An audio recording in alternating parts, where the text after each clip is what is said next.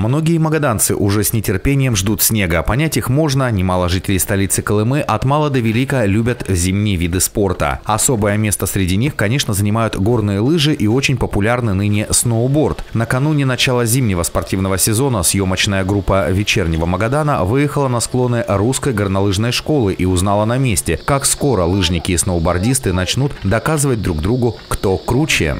Да, можем похвастать. Мы уже э, две недели как стоим на снегу. А, пока вот видите, видите идет э, естественный снег, мы стоим на искусственном. Значит, две недели мы уже а, как на искусственном снеге стоим. Э, первую неделю мы работали без подъемника, поскольку было а, небольшое пятно снега. Сейчас пятно уже гораздо больше, и мы уже работаем с подъемниками. Ребята делают именно вкатывание, специальные упражнения для начала учебного сезона и э, уже начинаем ходить трассы. Значит, у нас два склона. Один более крутой, это тот, который вы сейчас видите. И есть еще и пологий склон.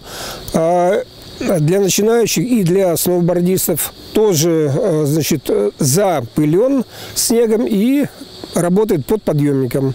Для лыжников и сноубордистов-любителей также готовится склон, поскольку погода позволяла, работы начались на две недели раньше обычного. Сначала формируют снежную подложку глубиной до 40 сантиметров. Это слой плотного снега, по которому может двигаться аэротрак. Параллельно создается дорожка для подъема наверх под подъемником. И на завершающем этапе специалисты РГШ создают искусственные препятствия, трамплины, бугры, ямки. Все это в итоге даст высококачественный рельефный склон, который так ценится спортсменами и любителями. Тренируемся мы уже э, вторую или уже третью неделю. А, снега достаточно уже насыпали для тренировок.